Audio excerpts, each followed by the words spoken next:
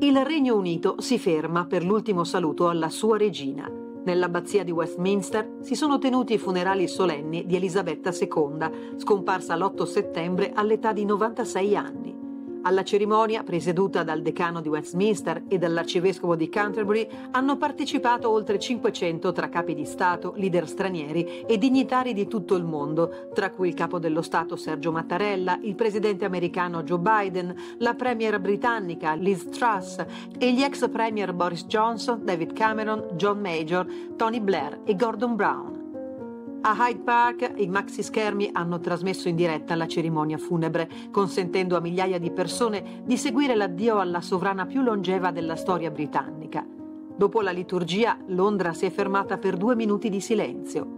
L'ultima processione ha attraversato la città, dall'abbazia di Westminster all'arco di Wellington, salutando Buckingham Palace. La regina Elisabetta è stata quindi trasferita al castello di Windsor per la sepoltura nella cappella di St. George.